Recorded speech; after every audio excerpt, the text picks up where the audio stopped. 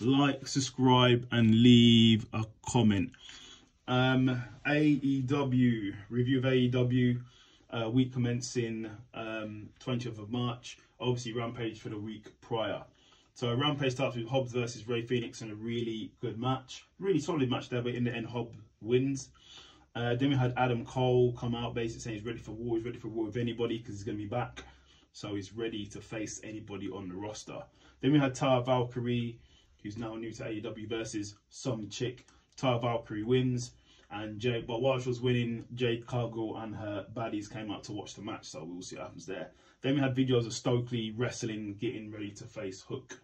Um, then we had the Bollywood Boys versus the JS. Obviously, the JS won. Then we had the Gunn Club confront uh, Top Flight and said they're going to give him a title shot on, uh, on Dynamite.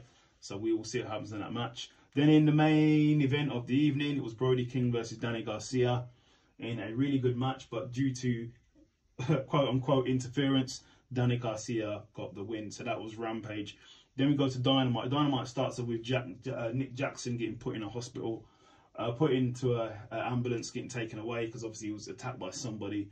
Hangman Adam Page came went with him in the taxi in the not in the taxi in the ambulance as well. So we'll see what happens that later. Then we had so the first match was Orange, Cass, Orange Cassidy, um, Orange Cassidy, Darby and Sting versus Kip Sabian, Butcher and a Blade in a really good match. Go and watch it. But in the end, Sting won. Then we had Top Flight versus the Gunn Club um, for the AEW titles, tag team titles, and a really good match. But the Guns won. The guy told everyone the Guns are not losing at the moment they're going to be on a heel run. Um, then FTR comes out and wow, it's crazy. FTR put out ultimatum. FTR wanted a rematch against the Gunn Club, but they said if the FTR doesn't win, they will leave AEW for good. So it looks like hey, FTR might be going to WWE or whatever's happening. I'm not sure. So then we had Jade basically call out um, and call, making a call out, and then um, Layla, Leila Grey, I believe her name was, uh, wants to face, I believe, Taya, Taya, uh, Taya Valkyrie. So See what happens there. Then we had Stokely versus Hook. Come on now, Hook won that. Then we had Adam Adam Cole again saying he's ready to face anybody.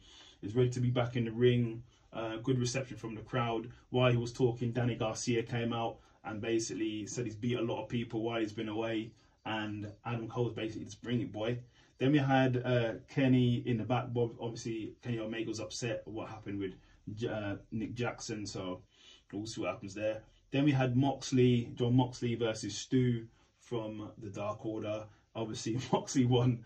Uh, you're not beating Jon Moxley at the moment.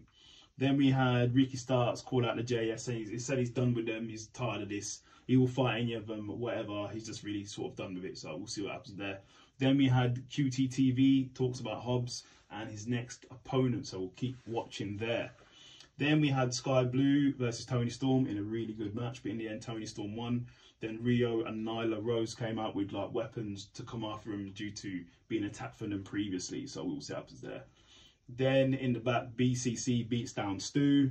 So we'll see what happens.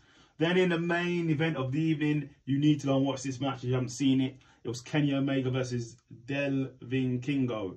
I think that's how you pronounce his name. This match was absolute bar burner. It was awesome. Del Kingo, the Viking, whatever you call him, he was absolutely awesome. Spin moves, everything. Go and watch this match if you haven't seen it. It was amazing. But in the end, Kenny Omega won. And then basically the BCC came down and started beating down Kenny Omega. But then Hangman Adam Page came out to help with weapons. And then the BCC left. And then for some reason, Don Callis played like Hangman hit him. So then Kenny Omega wasn't happy. So that's how it ended. So we will see what happens. But good show. Go and watch if you haven't seen it. Like, subscribe, and leave a comment.